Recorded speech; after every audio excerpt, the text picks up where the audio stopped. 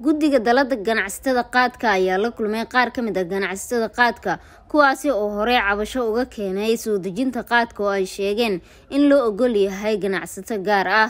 Balse kulankan waxaa lagu xalinayay khilaafka ka taagan arrimaha soo dejinta qaadka iyo eedeynta loo jeediyey qaar ka mid a ganacsatada. Guddiga ayaa waxaa markaasi ay kala hadleen qaar ka mid a ganacsatada sidii xal looga gaari lahaa arrintan qaar ka mid a ganacsatadii cabashada gudbisay oo la hadlay warbaahinta ayaa waxay sheegeen in la xiriiriyey tabashadooda. Sidoo kale waxaa halkaasi ka hadlay madaxda guddiga ganacsatada qaadka oo sheegay in ay diyaar u yihiin in xal laga gaaro khilaaf walba oo soo kala dhex gala ganacsatada qaadka. Annaga cabashadeennu waxay ku salaysnayd sixir barar iyo haddii ilaadinkii leeyahay bahalkii iyo qaaliya baanu cabashadeennu ku salaysnayd. Ma ahana qolo kaloo aan u shaqaynaynay iyo cid kaloona dirsatay. Horta midna ma jirin.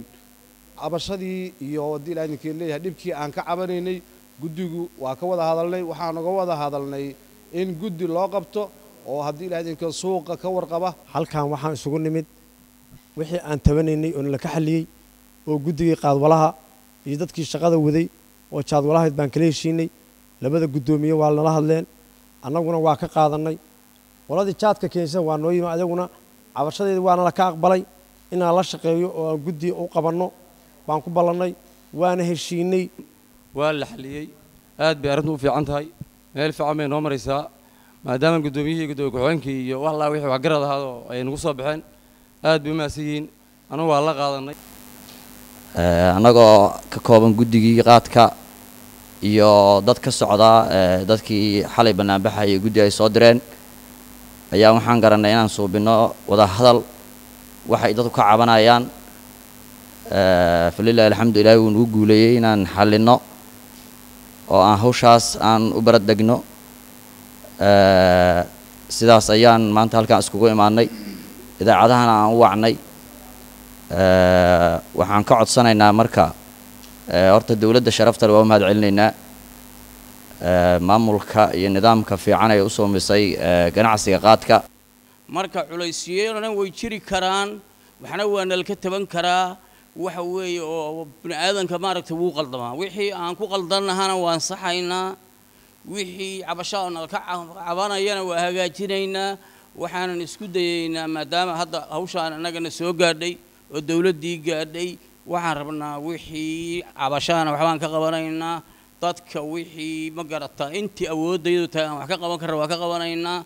Farxiin muraad idaacadda iyo tv-ga dalsan magaalada muqdisho. Premier wallet waa ablication cusub oo uu kuu keenay premier bank. Faa'iidooyinka premier wallet waxaa ka mid a. Waad iska diiwaangelin kartaa adigoo jooga goobtaada. Dadkaan akawnka ku lahayn bangiga premier waa ay iska diiwaangelin karaan. Premier wallet dukaamada iyo ganacsiyada kala duwan ayaad wax uga iibsan kartaa lacagaha waxbarashada caafimaadka korontada ayaad ku bixin kartaa. Lacag ayaad u diri kartaa qof kale laguguna soo diri karaa si fudud. Akawnkaaga iyo masterkarkaaga premier bank ayaad ku xidhan kartaa kana maamulan kartaa.